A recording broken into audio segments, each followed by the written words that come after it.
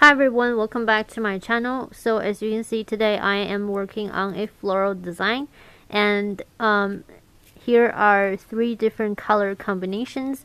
I really like this color combination. I thought the white flower just really popped against the pink background. So if you want to know how to do this design, just keep watching. I have this now painted a light pink color. I'm going to go in with a more brighter pink and my striping brush and add some lines.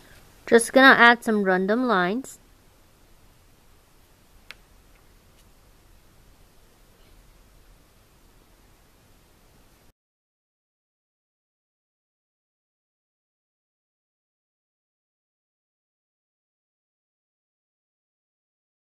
I'm gonna take a yellow polish and a small size dotting tool and do the center of the flower